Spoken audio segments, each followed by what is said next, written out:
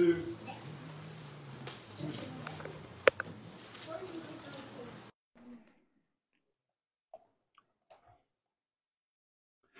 Nahum, chapter number 2. And we're going to look here at the first 10 verses of uh, Nahum, chapter number 2, and see what we can gather from the Word of God this evening. When you found your place here in the book of Nahum, chapter number 2, let's stand, all who can and will. We'll stand this evening as we honor the reading of God's Word. and if you can't find the book of Nahum, that's fine. Just stand with your Bible open. Nobody will know any different. And uh, then you can uh, you can always go when we pray here in a minute and find it in the front, and uh, then you can go to it, right? So no, I'm just joking, but it is uh, Nahum chapter number two and verse number one. The Bible says, "He that dasheth in pieces is come up before thy face. Keep the munition, watch the way." Make thy loins strong, fortify thy power mightily. For the Lord hath turned away the excellency of Jacob as the excellency of Israel. For the emptiers have emptied them out and marred their vine branches. The shield of his mighty men is made red. The valiant men are in scarlet. The chariot shall be with flaming torches in the day of his preparation, and the fir trees shall be terribly shaken. I don't know about y'all, but in just reading that, I'm visualizing that. Are you?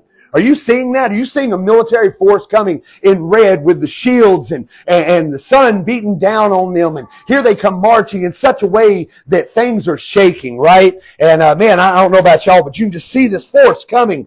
Then verse 4, the chariots shall rage in the streets. They shall jostle one against another in the broad ways. They shall seem like torches. They shall run like the lightnings. He shall recount his worthies. They shall stumble in their walk. They shall make haste to the wall thereof, and the defense shall be prepared. The gates of the rivers shall be opened, and the palace shall be dissolved. The Huzzab shall be led away captive. She shall be brought up, and her maids shall lead her as with the voice of doves, tabering upon their breasts. But Nineveh is of old, like a pool of water Yet they shall flee away. Stand, stand, shall they cry, but none shall look back. Take ye the spoil of silver, take ye the spoil of gold, for there is none end of the store in glory out of all the pleasant furniture. Verse number 10 says, She is empty and void and waste, and the heart melteth, and the knees smite together, and much pain is in all loins and the faces of them all gather blackness. You can be seated here this evening. Thank you for standing as we read, uh, read God's word here this evening. But uh, last week we noted, and over the past couple weeks, we've noted that those who by stubborn persistence in sin, meaning against God, standing against God, make themselves God's enemy. Am I right? Whenever you stand against God, you are God's enemy. When you, when you stand against Him, when you sin against Him. Nineveh was a stubbornly sinful city. I mean, they were just a wicked, wicked city. And uh, we also know that about 150 years prior to what we're reading right here in the book of Nahum and Nahum's uh, tale of the judgment that's coming. We also understand that about 150 years earlier, they become, uh, they set under Jonah's preaching. And Jonah was there. And these folks, uh, as they heard his preaching, they repented. And this was only 150 years removed. Uh, from the time that they they uh, repented from being their wickedness. Now they were at that time on the side of God, on the friend side, if you will, and they learned that God is a faithful friend. But here we are, just a little while later, and to us, I mean, honestly, when you look at it, when you think about the grand scheme of things, 150 years ain't that long, is it, Brother Brown? it's just it's just a few, right? I mean, it, it, it's not that not that long. 150 years is, I mean, not very long at all when you think about it. So there are grandparents, there are kids whose grandparents were there in Nineveh, more than likely that were uh, that, that that saw this or they had heard of this as they got older. They had heard from grandma and grandpa, great grandma, great grandpa of Jonah that came through. And now we see that just in 150 years, everything that has changed and they're right back where they were. Listen, Many then, and let's say today, are looking for a one-dimensional God. Explain what I mean right there. They want a God that's all love, all patience, all kindness, all tolerance. But never, never do they want an angry God or a wrathful God. Well, that's not the God of heaven. My God in heaven is not a one-dimensional God. He's not just all peace, all love. Oh, do what you want to. I'll give you a Tootsie Roll. It's okay. No, He is still the God of wrath. He is still, He's still angry with sin. Amen. God is love. Yes, He's love, but He's also holy and He's also righteous. He does forgive fully and He does forgive freely. But there is no forgiveness. Let me get this straight. There is no forgiveness for the unrepentant. Amen. You must repent. There's none given to the unrepentant. So God sent Jonah and forgave wicked Nineveh. Why? Because they repented. Now, since the days of Jonah, like I said, about 150 years have passed, and so has Nineveh's repentance. They're back in sin. So God sent Nahum. Did God send Nahum to tell them to repent? He didn't. He's already given them the opportunity to repent. He sent Nahum to tell them of the penalty for their sin. That's the title of what I want to preach tonight. The penalty of sin. Nahum didn't come to say, hey, repent or this will happen. Nahum came, Brother Matt, to say, this is fitting to happen. You better get up on the walls. That's what we just read. We just told, we just read where God told them to get up on the walls, to get prepared, because here comes the army. We don't want to just run all over you. But I want you to understand something this evening. God gave them their chance to turn from sin. This evening I want to preach on these verses, on that thought, the penalty of sin. I believe that we would all agree that rebellion against God is sin. Yeah. I believe we all would, right? And there is a penalty for sin. Everybody agree with that, right? We know that. Bible says there is. Here in these verses, we are going to notice what that penalty is for Nineveh. So let's look for just a few moments this evening, the penalty of sin. Brother Mike Brown, how about you pray for us? Lord Father, we once again say thank you, Lord, for another opportunity here tonight. Set under your word. We thank you for this little book. Father, we just pray that you just give the pastor wisdom and the things that you brought to his eye. And Lord, just help us to be uh, thoughtful on the things that are said.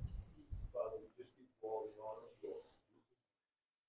Amen. As we saw back in chapter number one, we preached for about three weeks, I believe it was, out of chapter number one of his warning to Nineveh and to all the stubborn sinners. It was a strong and very clear, uh, clear message to them uh, from way back in uh, Jonah's day of turn, repent, or you will be destroyed. So we get here into uh, chapter number two, and we find that Nahum's message is, "Here we come, boys. You better get prepared." Amen.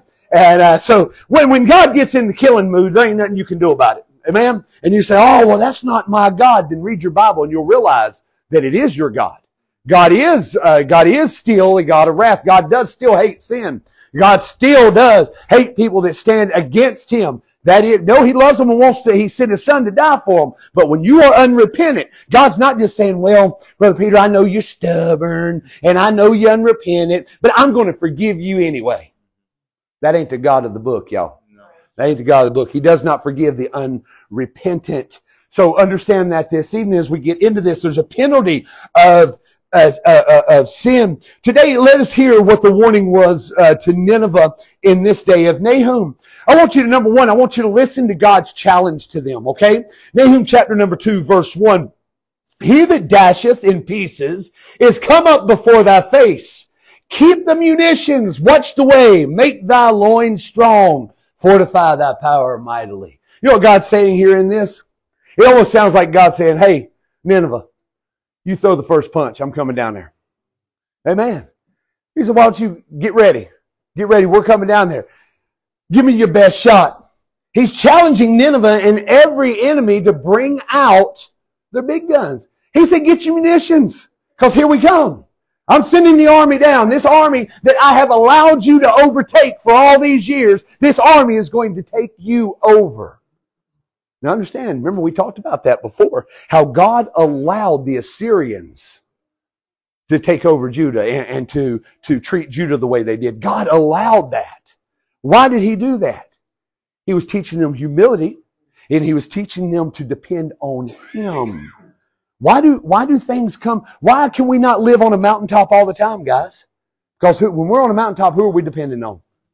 Everything's good, man. I'm fine. I can get by just fine. I don't need, I don't need anything. But whenever we hit that valley, that's when you find out where God's at. When you hit that valley, you go down that valley and then you look up and there he is. That's how you get out of the valley is by placing your trust, placing your faith, placing everything in him. It would, it would be, by God sending them down there with God being on their side now, it would almost like take the British redcoats of old and face them up against the green berets of today. No competition right? Because of technology, because of training. There's no competition there. It's like taking the, uh, the Confederate rebels and putting them against the Army Rangers today. There's no competition. No competition. And that's what God's telling them here is, hey, I'm coming down. I'm sending them down there. Judah's coming. And they're going to wipe through your little town there of Nineveh and all you Assyrians that have stood against me, whom I have allowed to take over some things in Judah are going to be destroyed because you have turned away from me. Listen, God has always challenged and defied evil to do its worst against him. Give him his best shot, right? Think about this. His challenge to idolaters. Nineveh was full of idol worship. It was full of idol worship. We know that the Lord is not pleased with idol worship. Amen? Isaiah 41, tells us to produce your cause, saith the Lord. Bring forth your strong reason, saith the King Jacob. Verse 22, let them bring them forth and show us that shall, what shall happen. Let them show the former things, what they be, that we may consider them and know the latter end of them or declare us things for to come. Isaiah 41, show the things that are to come hereafter that we may know that ye are God's little g. Yea, do good or do evil, that we may be dismayed and behold it together. Isaiah there is talking about idol worship. God's saying, get rid of the idol worship. He's saying down here to Nineveh, he said, look, he said, you've taken your eyes off of me. At one time you loved me. Isn't that kind of what we talked about this morning? Who did it? At one time you loved me. At one time you repented of your wickedness when Jonah was there. At one time you would serve me. Now what's happened is you have forgotten me. I see that a lot in churches today. I find it a lot in our country today. How many times have you heard that the United States is a Christian nation? I stand before you today to tell you that the United States was founded a Christian nation. We're not anymore. We're not anymore. That hurts to say that, but if we were, Brother Matt, we wouldn't be killing babies. Amen. Right? If we were a Christian nation, Brother Mike Brown, divorce rate wouldn't be sky high we were a Christian nation, you wouldn't be able to go to almost any major city and find just sin standing on the corners. We were a Christian nation. But that's not the case anymore. He challenged Satan himself. Remember when God challenged Satan when uh, Jesus faced him in the wilderness fasting 40 days? God challenged him, give me what you got. And Jesus always answered him with scripture. The greatest challenge was Satan at Calvary. He said, Go ahead do what you're going to do.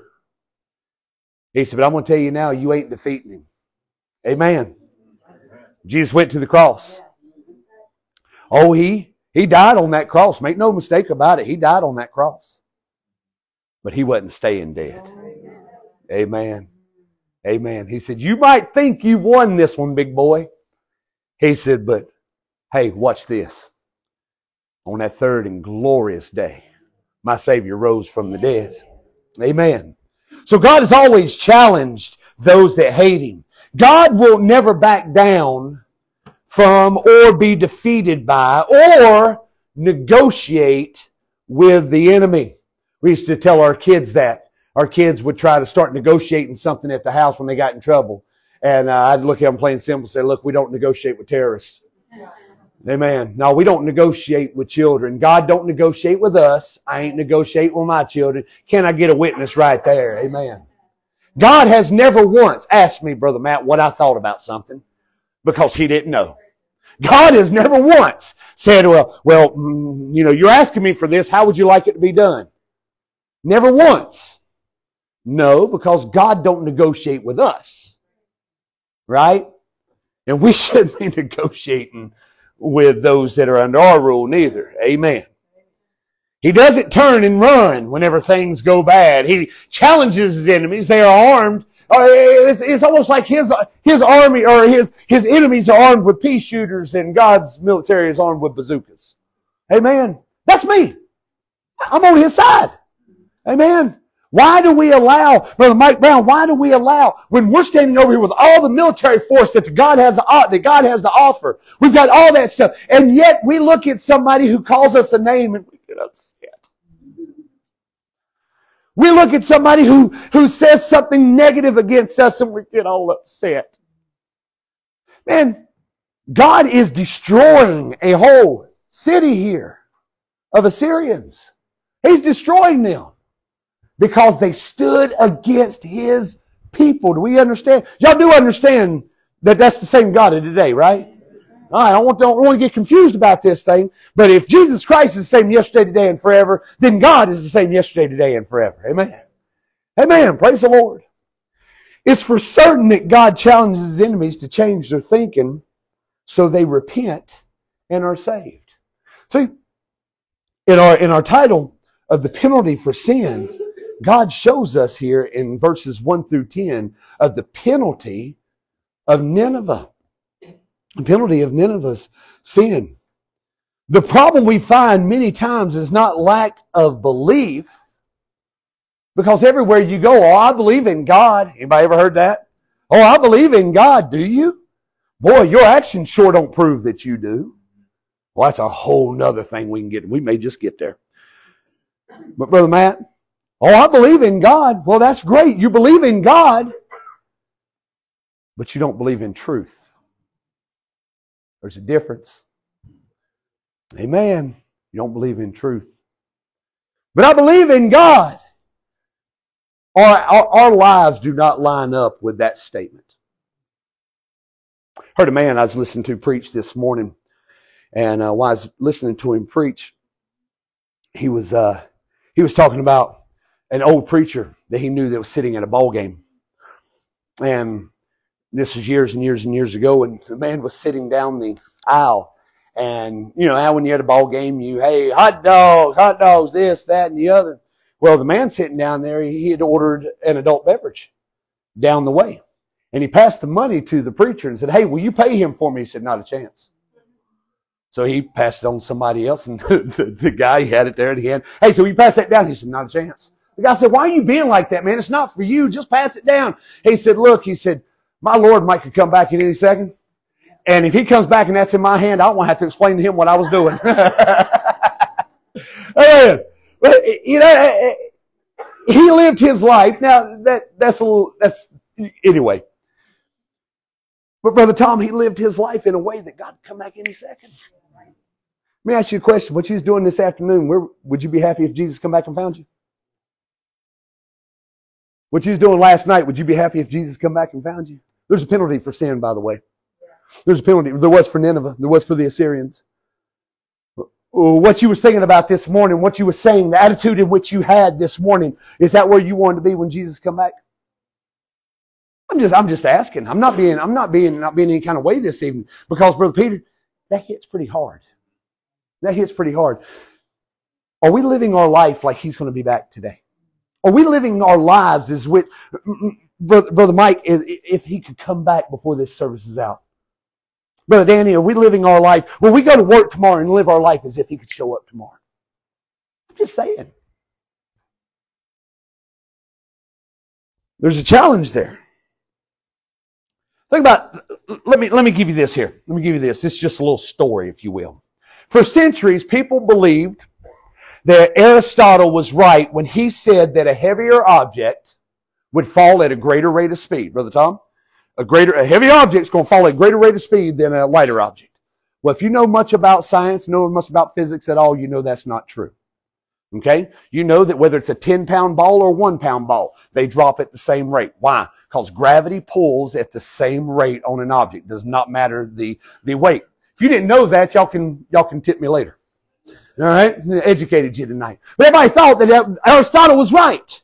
Oh, he's right. This, this is what's going to happen eh, eh, and one heavier object. And so, but for nearly 2,000 years after Aristotle's death, in 1589, Galileo, challenged that false teaching. And he summoned all kinds of learned professors to, to come to the base of the Leaning Tower of Pisa.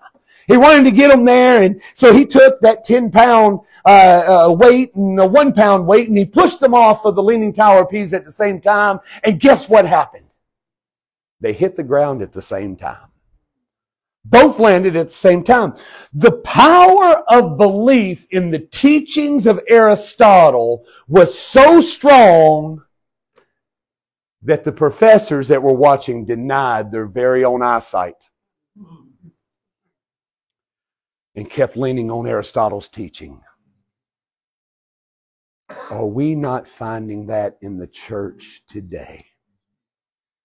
It's all about what I've learned and what I know. It's all about how I feel. Or it doesn't matter that I can look at this Bible and see, Brother Peter, that well, this area of my life needs correcting, or this area of my life needs a little fixing, and you know, I really need to watch my attitude. And you know, when I was saved, I'm not the same man that I used to be, so I really need to put away all those old things. And you know, I, I don't want, I don't think that because you, you don't understand. I've been this way for 20, 30, 40, 50 years, so I'm going to stay the same man. No, that's contradictory to Scripture. Amen. Our attitude ought to change a little bit. Our demeanor ought to change a little bit when we get saved. I don't care if you're just an old crusty Mainer. That's all I ever hear. Oh, you just don't understand. Mainers are old and crusty. Man, I'm, Mike Brown's an old crusty Mainer. Amen. Amen. But he still smiles every now and then. He's still friendly. Brother Tom, You're still friendly. Amen. Brother Peter's just a mean old fisherman.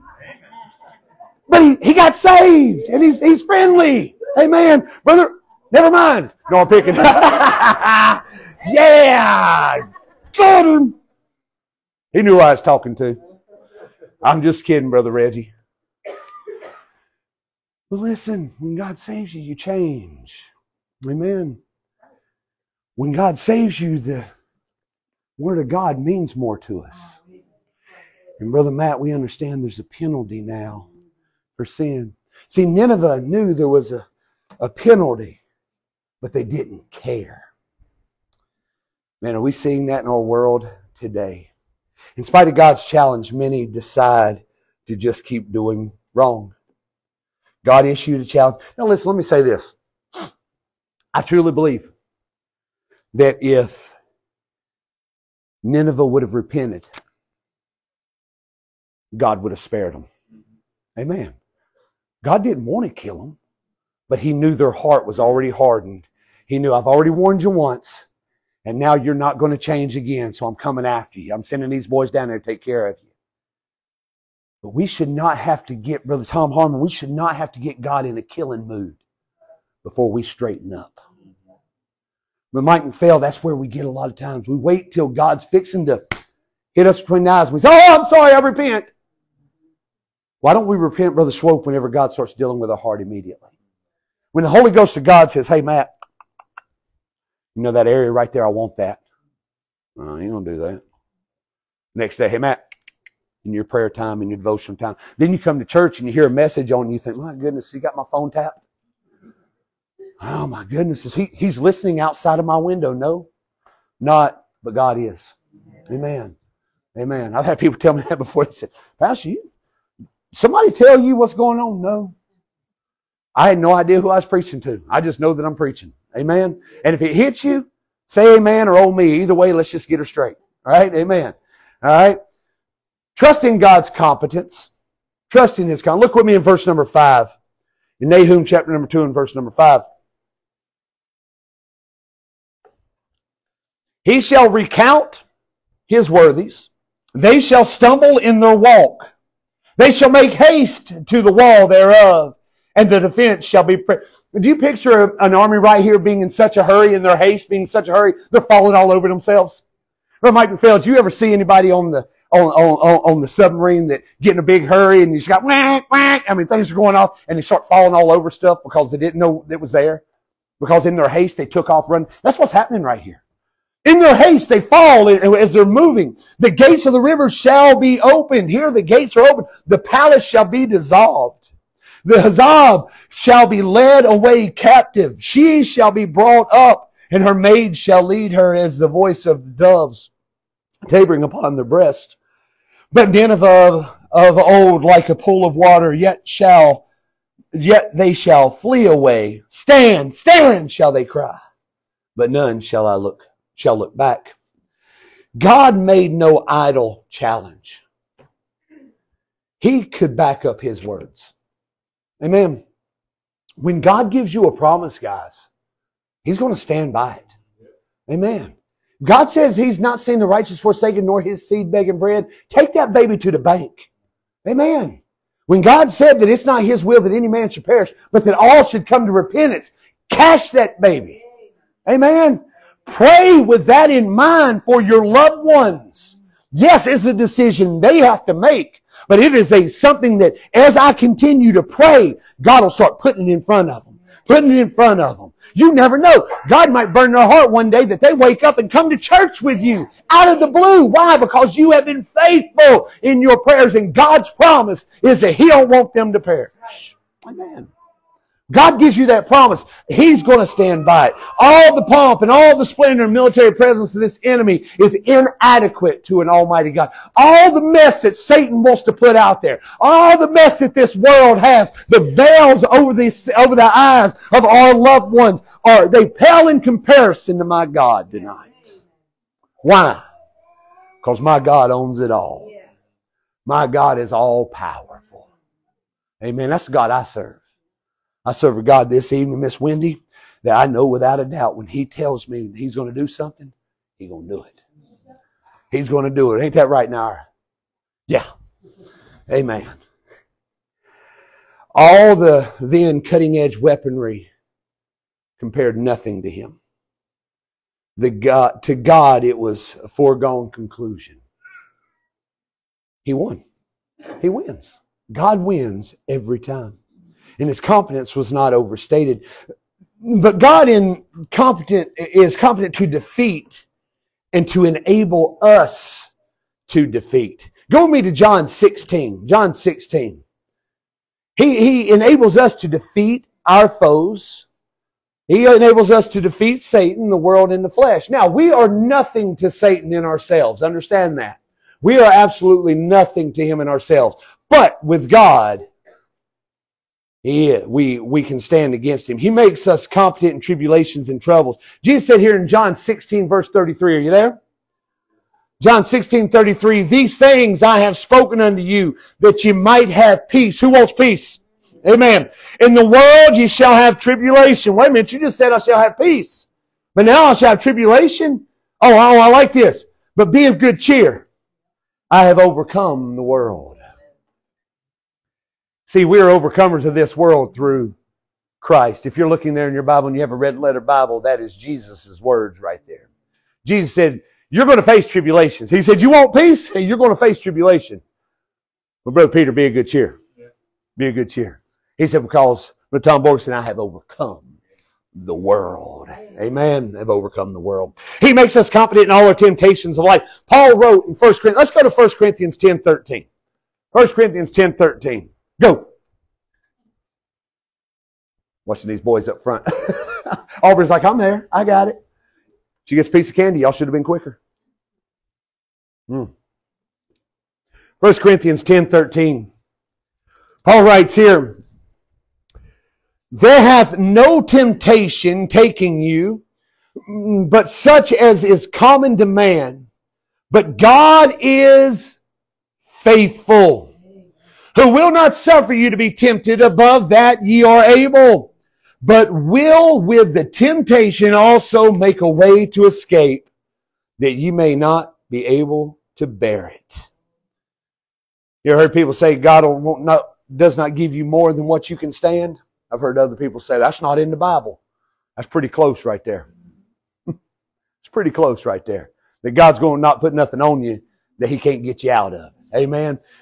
You say, well, look at Job. What happened to Job? He let Satan just afflict him. Did it kill him? Did it make him stronger? Yeah. Absolutely. Did it take everything that he had? Yep. But what did God do? Gave it back and then some. Amen.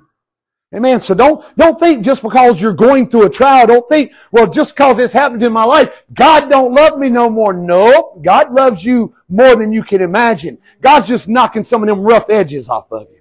Now, there are some things that have happened in people's lives that I know that I have had the opportunity to minister to that Brother Mike Brown, I sit back and I think, God, I don't know why.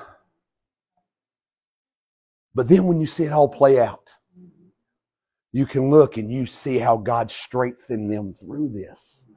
And Brother Mike McPhail, I can sit back and I see what God's done. And I'm like, you know what? I need to quit trying to understand why. And I just need to know that God's in control. Amen.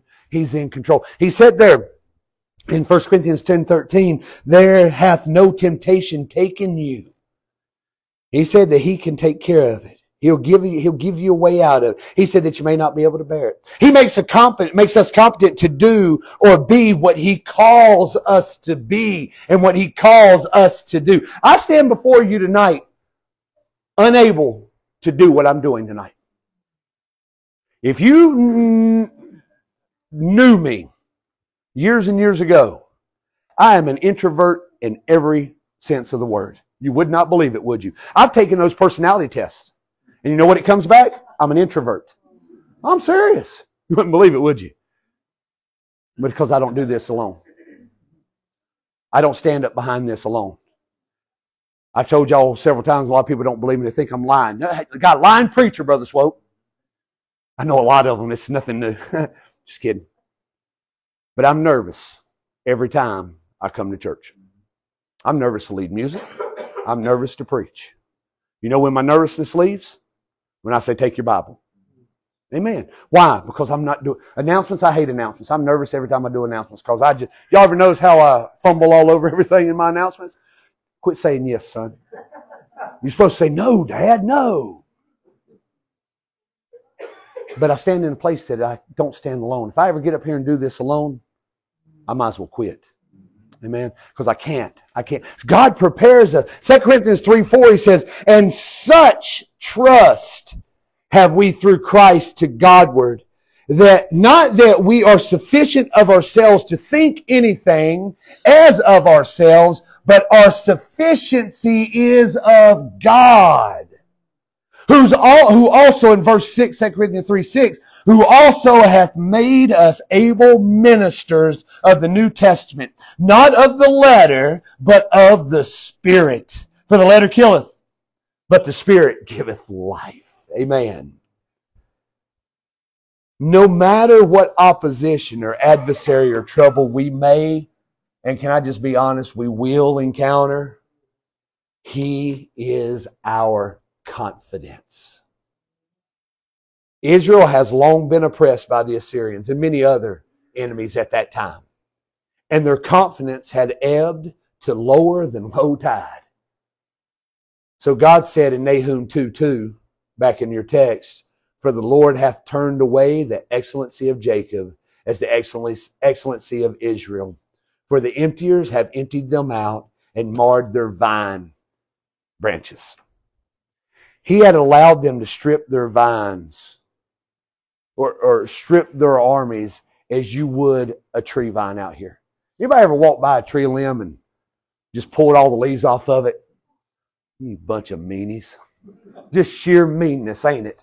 Yeah, y'all have, hadn't you? I walk out here, I see all the stripped trees. But that's what that's what the Lord said. He said, I've allowed the Assyrians to do this to you. They've just pulled every leaf off of that branch. They've just mowed you down down through there. But things have changed. things have changed because God has gotten tired of their sin. And there's a penalty for it. See, we might think that God's not going to come through. Brother Matt, there's been times in my life that I thought, well, I don't know where you're at, but I sure wish you would hurry. Can I get a witness right there? Anybody else ever been there? It don't matter if it just appeared and an hour later it hadn't been fixed yet. I might be, Lord, I don't know when you're going to do this, but you, you need to straighten this thing out right now. Amen. But understand this. He's going to come through. He's promised he will. Here, the Assyrians, I don't know how long they afflicted, uh, afflicted Judah. I don't know how long they had afflicted them. I don't know how long God had allowed that to happen. You may know that. I didn't study it. I, I'm sure somebody knows this a whole lot smarter than I am, so you can tell me later. I don't know how long it lasted, but I'm sure they're probably like, God, we're your people. Why are you letting this happen? Why are you letting all these things happen? Why are you letting the world, if you will, come up against us? Why are you allowing all these things? You know why? Because they wouldn't get right about their sin. That's another message for another day. That's not where we are in Nahum tonight. He had allowed them to be stripped like those branches, no matter how severely the enemy of our souls may have defeated us thus far. We have confidence that the victory is in Jesus. Who likes that song? Victory in Jesus. Y'all do realize those aren't just words. Right? Right? That's what sometimes songs like that, I used to tell the choir that I led uh, back in North Carolina, I used to tell our choir all the time, saying, when you're singing, think about the words. I know we've sang Amazing Grace a million times. When I tell you to turn to that page in, in, in the songbook and you hear it's Amazing Grace, you know what I hear most of the time? This is what I hear most of the time whenever they look, oh, it's Amazing Grace. I know that one. Right? Don't we? We know the song. We, we, we can sing it. And if we don't know the second and the third, which order it goes in, you wait for the pastor to start singing it and then you know it, right? Amen. We're there. You see, we're, we're all the same. We're all in this thing together. Amen. But here's the difference, Brother Peter. If I open that up and while I'm singing Amazing Grace, I'm looking at those words and I'm thinking about those words. Here's the difference. When I'm singing victory in Jesus, it's not just, I heard an old, old story, how a Savior came from glory. And gave his life on God. Save a wretch like me. No, I start thinking about, man, I heard that old, old. Do you remember the day you heard that old story? You remember that day you heard that old story, Brother Mike? Brother Reggie, you remember that day you heard that old story? About how the Savior came from glory? How he gave his life on Calvary. That's the gospel, by the way. See, the gospel's right there in uh, victory in Jesus. And what do I have now? Oh, victory in Jesus, my Savior forever. He sought me and he bought me with his redeeming blood. What? There we go. Y'all into it, ain't you? That sounded like they were praising God, didn't it? Saw me and bought with his redeeming blood. Praise God. We won't try it again. All right, because I, I, threw you off on that, right? Just you we realized this was audience participation, did we? Yeah, precipitation. Amen. Said you can harm us, but you got to get permission from our Father. When was the last time we thought like that? See, this world, oh sure, it can harm us. Satan can harm us. I told y'all just a little while ago. Miss Linda, we are of no competition to Satan. Pastor Bo is of no competition to Satan. I'm not. But he that lives within me is. Amen. Amen. I can stand against him because of him, not because of me. Amen. So he's got to get permission from my father. I heard an old story along that that that line. The thug come up to a uh, an old preacher out on the street and said he was going to rob him. And uh, the old man looked at him and said, You can't rob me. Your father's got to get permission from my father. The guy just kind of looked at him and said, Man, I don't even know my old man. What are you talking about? I ain't got, my daddy ain't got to talk to yours. What are you talking about? He had a confused look. He looked at him and he said, Your father's the devil. My father's God. Said hell boy had a confused look on his face and he turned and just walked away, shaking his head like, I don't know what to do with that. hey man, Amen. He didn't have a chance. Didn't have a chance. Hallelujah.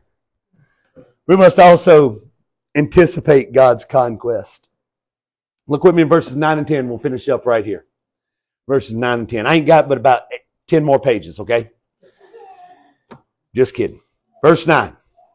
Take ye the spoil of silver, take ye the spoil of gold, for there is none end of the store and glory out of the pleasant furniture. She is empty and void and waste, and the heart melteth and the knees smite together, and much pain is in all loins, and the faces of them all gather blackness. God won then, and let me give you a promise today. God wins today. Amen. Amen. We too share that same conquest that Judah did here. Against the influences of the world. 1 John 5, 4, for whatsoever is born of God overcometh the world. And this is the victory that overcometh the world, even our faith.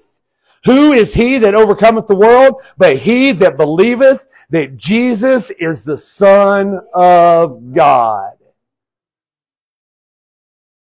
If the world wants to do something to me, they got to get permission from my daddy. Amen. You say, oh, you ought not call God your daddy. He's my daddy. That's what Abba Father means. Amen. That's an intimate name of God. That's my daddy. Amen. Against the tempter. He's got conquest against the tempter being Satan. In 1 John 4 4, ye are of God, little children, and have overcome them, because greater is he that is in you than he that is in the world. Amen. Pin that baby to your chest and walk around. Amen. 1 John 4 4. Greater is he that is in you than he that is in the world. Amen. There's some time. That one right there will be a good one. Put on a post-it note when you get home. You ain't got to do this, but try this. Put that baby on a post-it note when you get home. And put it on the mirror where you brush your teeth. Now, some of you brush your teeth like this, I know. But put it in front of the mirror where you. yeah, y'all awake still. You're awake. All right, stay with me. Stay. I promise I'm almost done. All right. I was going to say put it where you brush your hair, but I got several that'd be like, I ain't got to do that, right? Amen. Amen. Yeah, yeah, yeah, yeah. It's a good night for it, right? But put it there. Put it there. Hey, mine can turn any color it wants as long as it don't turn loose. We're okay. But put it there. Amen. Remember that. When you wake up in the morning, take that reminder. Greater is he that is in you than he that's in the world. Because I promise you this, okay? And if you've been saved much over 10 minutes, you know this. You're going to walk out your door and you're going to get hit right in the face. Amen? Or you're going to go check your phone and you're going to be like, it's already starting. Amen. Or you're going to go in and kiss your wife goodbye, or she's going to meet you at the door, and the day's going to start. Amen. Life's going to start. Understand this this morning. Greater is, or this evening, greater is He that is in you than He that is in the world. If He's your, if you are His, greater is that we've got we've got the conquest with him against all weakness of the flesh paul confessed in romans 7 24 oh wretched man that i am who shall deliver me from the body of this death i thank god through jesus christ our lord so then with the mind i myself serve the law of god but with the flesh the law of sin we understand this evening we don't have to live in the flesh we don't we don't have to live in the flesh. We choose to live in the flesh. Amen. Now, listen, you're, you're talking to somebody this evening, looking at somebody this evening who understands that there is pleasure in sin. There is pleasure in sin. Now, I, I know y'all sitting there thinking, oh my goodness, Pastor, y'all not say something like that. I'm saying it on video. Why? Because the Bible says it. There's pleasure in sin, young men, for a season. But a bill comes due. The bill comes due. You know the best thing, instead of having to pay that bill, when that sin pops up, just say, nope, nope, don't want nothing to do with that. Make your choice right then to stand with God. Well, I can't do that. Why? If you believe what I just said in 1 John 4 4, greater is he that is in you, right? If you believe that, do we believe that? We can say amen. Yeah, Pastor, we believe. You'll wake up in the morning and not believe that. Right? We ought to believe that. And understand this evening that we do not have to live in the flesh, but we can live in the spirit and serve the law of God. He also has defeated the final enemy, which is death. You know the scripture well, 1 Corinthians 15 55. O death, where is thy sting? O grave, where is thy victory? The sting of death is sin, and the strength of sin is the law. But thanks be to God, which giveth us the victory through our Lord Jesus Christ. Amen. The conqueror has triumphed death, hell, and the grave. And we have defeated. Guess what? We win. Amen. Amen. Y'all want me to, I tell you what, what I'm going to do for the next, listen, for the next however long it takes, I'm going to give you a complete dissertation of the book of Revelation here in the next few minutes. So y'all, or in the next however long it takes. Y'all ready? We win. That pretty much sums it up, doesn't it? I don't need to know the ins and outs. It's great to study that. It's great to look at it. Don't get me wrong. It's great to know those things. But at the end of the day, Brother Mike, we win, baby. Yeah. Amen. We were talking to somebody the other day and talking about everything going on over in Israel. And it breaks my heart. I hate to see that it's going on. I really do. That's God's people.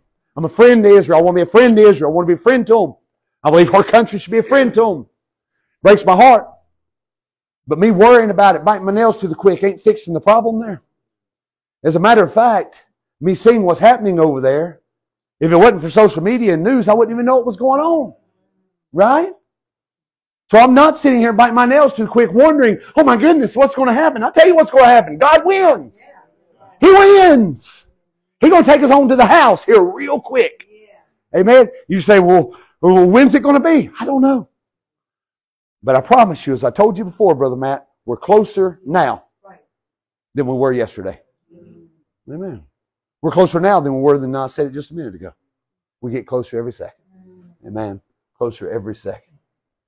Today, God challenges anything and everything that would oppose Him in our lives and warns us of the danger of pursuing them. Remember kind of where we were this morning. Who did it?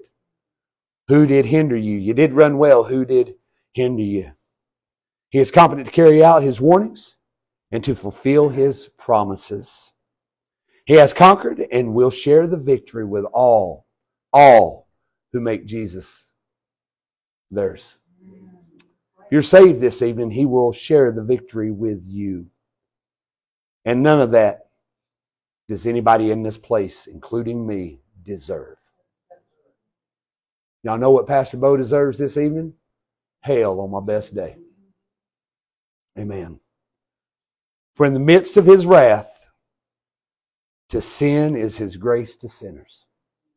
Amen. Not just grace, but amazing grace. It's amazing because of its depth. It's amazing because of its endurance. It's amazing because of its power. It's amazing because of its availability. Think about His grace. It's available to all. And it's amazing this evening because it is free. Amen. Amen. There's nothing I have to do but repent, have faith. That's it. I don't have to do anything. I get to do a lot of stuff. Amen. But I don't have to. See, that would be legalism. If I had to do something in order to be saved. See, people will look and say, oh, well, you do this, you do that, you're legalistic. No, I don't do nothing I do to be saved. Amen. I do everything I do because I am saved. Hallelujah. Amen. Allow God to destroy the enemies in your life as He did the enemies in Nineveh. Listen, He allowed them for a season to have control over Judah. My brother Mike Brown, in the end, He destroyed them. He promised to never let Nineveh rise up against them again. And it never has. You know why? He destroyed them, wiped them off the face of the earth. It was over and done with. There's a penalty for sin. There is a penalty for sin. We saw what happened to uh, Judah, that they that God allowed Nineveh to have control over them and treat them like they did. But then we see the penalty from Nineveh of their sin. God destroyed them. I don't want any of the families in this congregation to be destroyed. I don't want any of the families in this community to be destroyed. That's why it's our responsibility, Brother Reggie, to go into all the world and preach the gospel to every creature. That they might have the same victory, Brother Tom Harmon, that me and you got. Amen. Heads bowed, eyes closed this evening.